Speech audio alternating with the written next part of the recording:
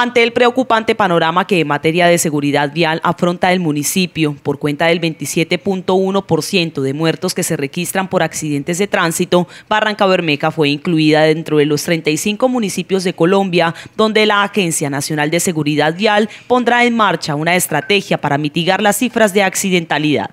en el cual eh, como, como entidad de tránsito y transporte nosotros ya hemos eh, dado unos pequeños pasos con la Agencia Nacional.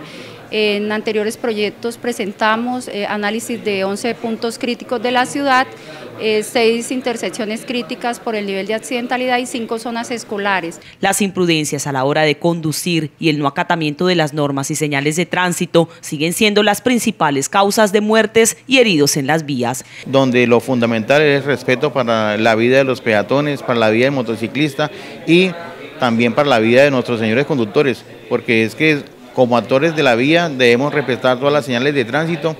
eh, debemos respetar también este, todos los lineamientos que de materia de regulación pues nos habla la, el Ministerio de Transporte. La socialización de la estrategia de intervención inmediata se llevó a cabo con entidades como la Cruz Roja, bomberos voluntarios, policía de carreteras, entre otras del orden público. Pero desafortunadamente Barranca, la jurisdicción de Barranca Bermeja, eh,